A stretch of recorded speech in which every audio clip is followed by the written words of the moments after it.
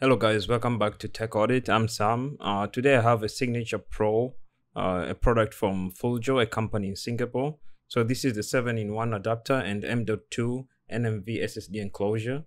Um, the model number is uh, CH62-SG.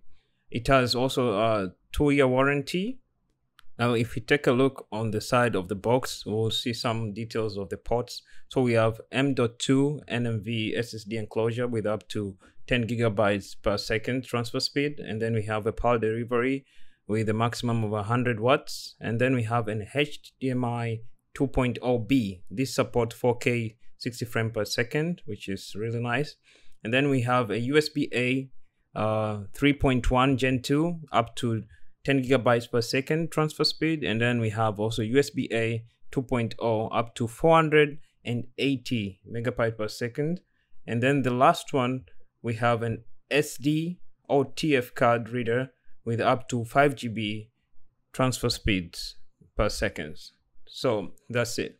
So those are all of the information. So uh Flujo also sent me this uh, free USB-C to USB 2.0 uh, speed charging cable, which is nice of them to send it to me. So, but we're not going to review the cable now. We just want to uh, review the main Signature Pro. So I'll proceed with that. Now we're going to do a, a real quick unboxing. So we're going to remove the um, enclosure. So this is an enclosure. It's a silver color, lightweight. And then we'll put it aside and then we'll check what else is in the box. Um, so we can see in the box we have also another case. I think this is a protective case for the enclosure, which is really nice as you can see the material. Let's look what's inside the case. So what's inside the case, the first thing we have is the USB-C to USB-C cable.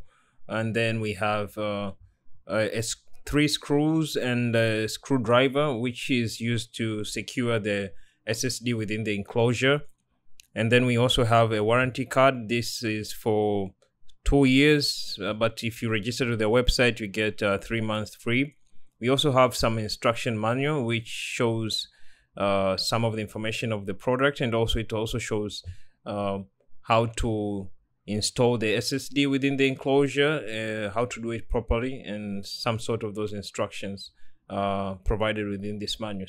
Um, we also have a black tape uh, stick. I think this one you stick it to your SSD uh, to prevent uh, overheating or high temperatures on your SSD. That's what I guess.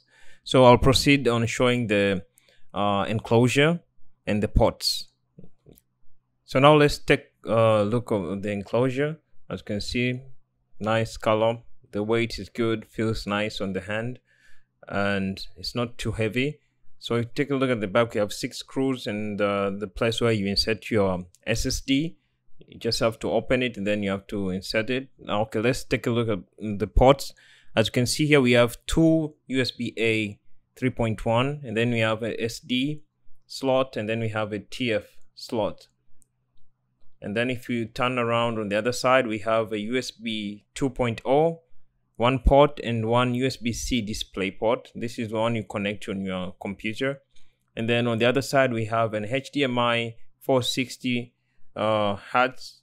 And then we have also a USB-C um, 100 watts power delivery port on the side. So that's all.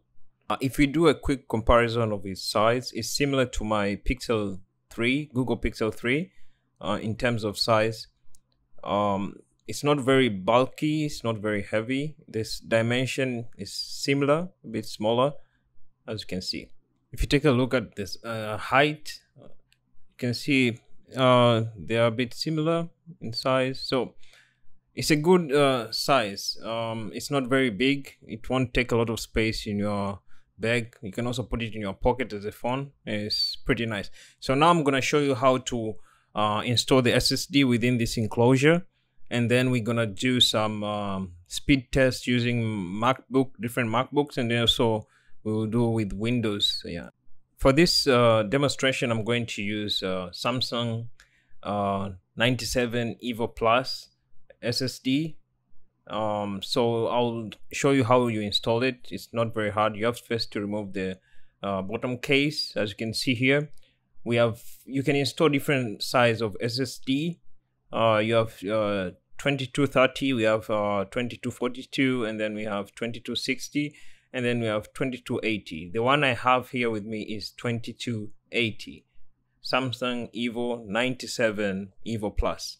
So I'm going to show you how you can install it. Now take uh, the, the SSD you have and then insert it carefully. Push it gently and you'll hear a simple uh, click when it's in place. Uh, as you can see. After it's in place, you have to secure it using the provided screws and also the screwdriver that was provided within the carrying case. So just take one screw and then uh, use it to secure the SSD so that it won't fall off as you can see here. When it's done, just uh, close back the case and it's done. Then we'll start the speed test. Okay, that's done. So for the first test, um, I'm going to use a MacBook 12 inch 2017 model. So this MacBook um, was one of the thinnest MacBook ever made. And also it's the MacBook which had only one USB-C port, only one. So this one was the perfect MacBook to be paired with this uh, external enclosure. If it came back uh, uh, back in 2015 is when this MacBook was uh, first uh, introduced, but this one is the 2017 model. As you can see, it only has a head jack port and one USB-C port. So let's start the speed test. So first you have to uh, plug in the enclosure to your MacBook or Windows laptop if you have. and then if you look at the right corner, you see, okay, now we can read the internal SSD that I installed. Uh, before doing this, uh, first you have to format your SSD with the right format. If you only want to use it on Windows, format with the right uh, format. If you want to use it on Mac, format with the right format supported with Mac. If you want to use it on Mac and Windows, then you have to use the right format. I'm using the um, exFAT to be able to use it on Mac and Windows. And I'll be using the uh, Magic Speed Test uh, application on Mac to test the speed. So the first thing you have to do, I'll first test the internal storage for my Mac, uh, the speed of the read and write. As you can see, it's about uh, 1159. That's for the write, and then we have 1331. That's for the read. This is for the my internal uh, storage SSD speed. Okay, this is very important uh, you have to do this first okay because it depends on how fast your uh, macbook is and also it also depends on the cable you use. And also it also depends on the ssd you, ins you install within the enclosure in order to get good speeds. So after getting the uh, read and write speed of my mac then i'll now uh, what i'll do is okay test the speed of the in, uh, ssd installed in my enclosure. So go here, then you have to select target drive. Then I'll have to select my 90 Evo Plus, okay, then open.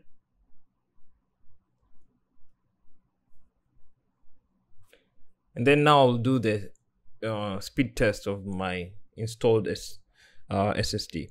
As you can see, it's only 400 MB, that's for the write and then for the read it's also 415 uh, uh, MB. I know some will be uh, shocked. Uh, why is it so low? I that one depends on the uh, uh, the PC use and your internal storage speed. Even if the uh, Samsung Evo 90 Evo Plus uh, uh support um, 3500 read and write speed uh, megabytes, uh, you won't be able to get this speed within this enclosure. This enclosure only support up to 1000 uh, megabytes per second. So it doesn't matter how fast your installed SSD is, it will never go above uh, 1000 megabyte per second. But for my MacBook 2017 12 inch, as you can see, we can only get up to 400 MB for read and write, uh, both of them. So only 400 MB per, per second transfer speed. So uh, it's okay, but I'll show you that the speed changes when you use another MacBook or a powerful MacBook. So we're gonna do that now. Before I, proceed to the next test, I'll do a simple real life uh, file transfer. So I have this uh, uh, folder here. Let's uh, get the information first. Let's check the size first. So as you can see, it's about uh, uh, 30 GB. That's the size of the folder. I'll try to copy it to the desktop. Okay, so the file is from the uh, SSD to my desktop. As you can see, the speed. Uh, if you take a look on the right corner, uh, you can uh, do the timing on your own but for this experiment it, it took almost a minute to transfer a 30 uh, GB file so for my case it's okay uh, but we'll see the next text when using another powerful MacBook. Uh, the results are different uh, so let's proceed. I'll also show you a quick test of using um, USB-A uh, using the enclosure the uh, signature pro so I'll just uh, plug it in and you can see pay attention on my desktop uh you'll see it popping up. Yes I can as you can see my um, pen drive is actually uh, recognized. I can open it. And you can see uh, let's we can eject and then we can try it again. Also we try it with the USB-C adapter and see if it also be able to pick it up. And then we find the port the other USB-C I think this was the power delivery one. Okay let's see if it's also supports or it can read. Okay pay attention on the desktop. Yeah it can also read uh, when it's plugged on the power delivery. So that's good. So we'll eject the next one I'm gonna use the SD card. So this is my uh, extra camera card. So I'll just try and see if it also can read. So I'll find the port. I think it's on the left side. Uh, that's not the way you insert it. You have to insert it upside down. Sorry guys. Uh, don't do that. You have to do yeah upside down. Okay uh, pay attention to this yeah you can still read it as you can see so if I try to open it as you can see those are my files. Let's go to uh, images. I think where the image is. Yeah as you can see my file are all there.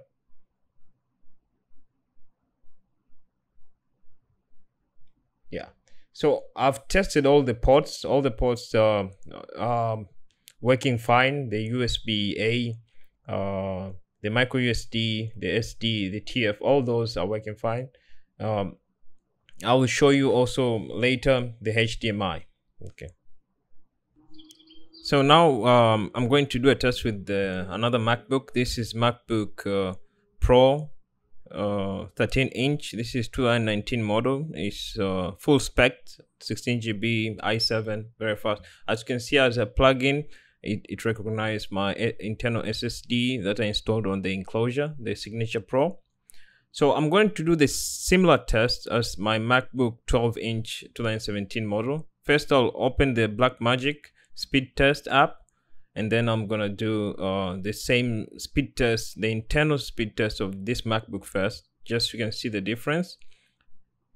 So I'm gonna do that test now as you can see this macbook is uh, for the write is about 1807 uh, megabyte per second and the read is about uh, 2536 uh, megabyte per second. So it's uh, much more faster compared to my previous macbook.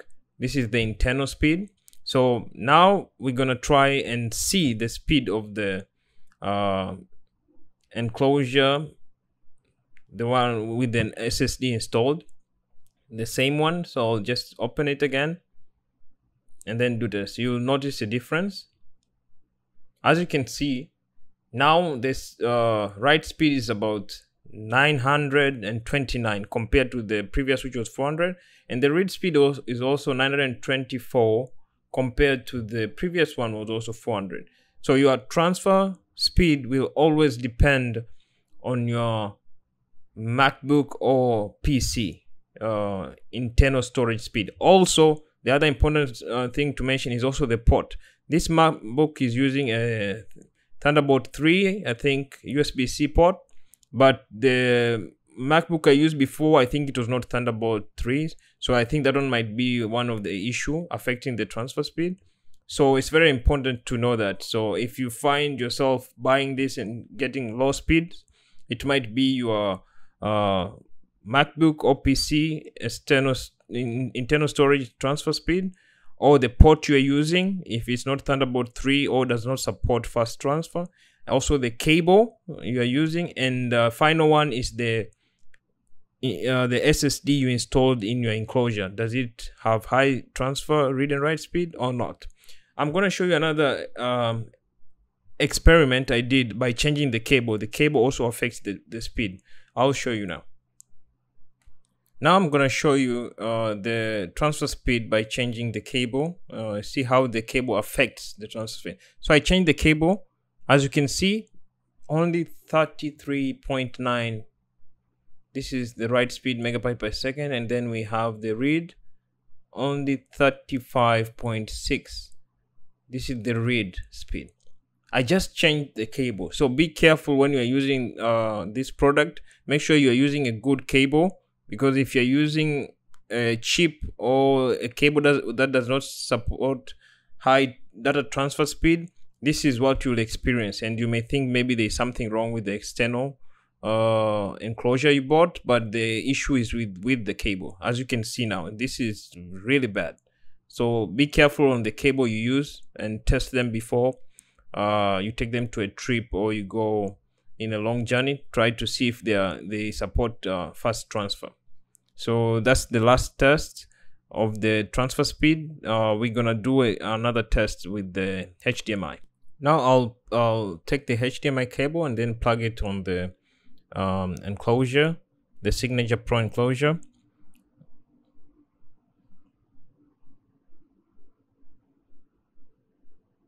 Okay.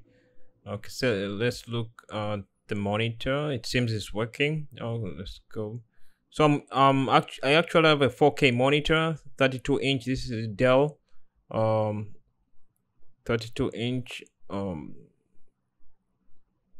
is connected as you can see. My MacBook is now connected to the monitor, but I'll have to check the refresh rate, the framework if it's 60 frames per second, if it uh, supports that. So I'll go to the Apple logo on the left corner and then about Mac and then we have to go to the display and then we, that's my monitors model the Dell. You can see the name there. Okay so let's go to the scaled. Then you, you have to hold I think uh, is it control or option? And then you have to click the scaled in order to see the uh, refresh rate. I think you hold the option or control button then click on the scaled uh, uh, radio button then you'll be able to see the refresh framework. Uh, go down and then we have to select uh, show the resolution modes okay? You tap on that then you can see the refresh rate is only 30 uh, hertz and you can see the other uh, choices. You have I think 24 25 uh, the issue I think is with my cable because whenever I use this cable also with my uh, Windows laptop, it also gives me 30 frames per second. But if I use the USB-C to USB-C, uh, I get uh, 60 frames per second. For so for this test, I think I I don't have a cable that supports 4K 60 frame rate, so maybe I have to get a new cable. So that's all for the test. Uh, it's working perfect as you can see. You can still plug it on, but if you're not using the right HDMI cable, you might not get the 60 frame per second. So it's important to know that. So yeah, that's it for the HDMI test. Just to show you when I plug my USB-C directly from my monitor to my MacBook, I just want to show you the 60 uh, uh, frame rate per second that is supported with this monitor. As you can see, if I plug it directly and then I go also to the about again, uh, sorry for the shaking. Okay. If I go to the about, uh, right corner about, and then we have to go to the display. If I check again the display, and then I go to the scaled, I think I'll, I hold option or some or option, and then uh, click on the scaled radio button. You'll see the choices, show resolution. Now you can see uh, refresh rate is 60 hertz. This is connecting the USB-C directly from the monitor to my uh, MacBook without including the uh, enclosure ports and stuff like that. As you can see, the monitor supports 60 frame per second, but using the HDMI, I, I wasn't able to achieve that. I think maybe it's my cable issue. So maybe I'll try uh, to buy a new cable and see what is happening. So far, so good. No problem. Now I'm going to do a test transfer speed for Windows. So I have two cables, the one Flujo gave me, the one USB-A to USB-C. Then I bought another one from uh, Ugreen, USB-A to USB-C. And I'll try to test uh, the transfer speed if we change the cables. Does it affect the transfer speed we're using a Windows uh, laptop? So that's what I'll be doing on this section.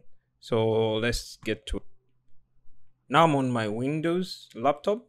You can see the drive connected so when I connected the Signature Pro, you can see three more drive added and you can see the pop-up on the bottom uh, right uh, display connection might be limited. Don't worry about that. It's not an issue. Sometimes you won't be able to see uh, you, your installed SSD uh, displayed on these drives here in Windows. So the issue is um, the drive might not be um, initiated, formatted, or assigned a number, so you won't be able to see it the first thing you have to do is go to the search uh, menu within Windows, then type uh, computer management.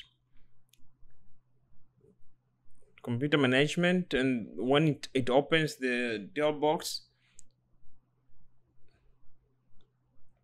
select it, then select uh, disk management. So it will take some time uh, to load the uh, drives because I have a lot. Once they are all displayed uh, scroll down and try to find your installed SSD sometimes you it may have the Samsung name or any brand you have. It might be offline or uh, it's not initialized not formatted or not assigned uh, uh, later. So you have to fix it here format it initialize it solve it here then come back here you'll see it displayed. If it's displayed then everything is uh is, is okay. So you can continue with the copying files and transferring files to it. Now i'm gonna transfer some files within the ssd within the enclosure. Just i'll open the ssd and then i'll uh, paste the folder that i copied before and then we can we are going to check the speed uh, the transfer speed. As you can see the transfer speed is not that high. It's almost uh, 38 uh, almost 40 megabytes per second which is not good at all. This is connected to the uh, USB A to USB C the one they uh, provided uh, they gave me for free. Um, the transfer speed are not that great so I'm gonna try and pause this um, uh, transfer because in window you can do that. Uh, when you're transfer you can pause then you can disconnect the drive and then plug it again and continue the transfer. Uh, so I'm gonna do that and then I'm gonna change the cable and plug the uh, Ugreen USB-A to USB-C and you'll see the difference in speed the change in, in, in the transfer speed just by changing the cable. So I'm gonna do that now we're gonna change the cable. So I'm gonna disconnect the Flujo USB-A to USB-C cable. And then I'll use the uh, Ugreen USB-A to USB-C and plug it to my uh, Dell laptop. After it's connected then I'll resume the operation. As you can notice the transfer speed changed from 40 megabytes per second to almost 225 megabytes per second which is really nice. Just by changing the cable you use you can actually change this transfer speed. So as you can see it's pretty okay. Uh, for most people this one will be just fine. And then I have to show you my internal SSD installed on my Dell laptop. I think I installed it uh, previous before. If you want that video I'll post it on the right corner. So as you can see this is my SSD um, 860 EVO. Uh, the read speed is about 545 megabyte per second and 470 uh, megabytes per second. That's the write. As you can see the speed is okay so it, it may uh, start from 100 MB to 200 so it's pretty okay for me. So only by changing the cable you can affect the transfer speed so that's all guys if you have any question about this uh, uh, signature pro enclosure and adapter 7 in 1 please uh, feel free to leave a comment below i'll leave some link on where you can get this product and if you have any question, please feel free to ask on the comment section. Please remember to subscribe, um, like, and share the video. And I hope I'll see you in the next video. Thank you very much, guys, for watching the video. And I'll see you uh, next time. Goodbye.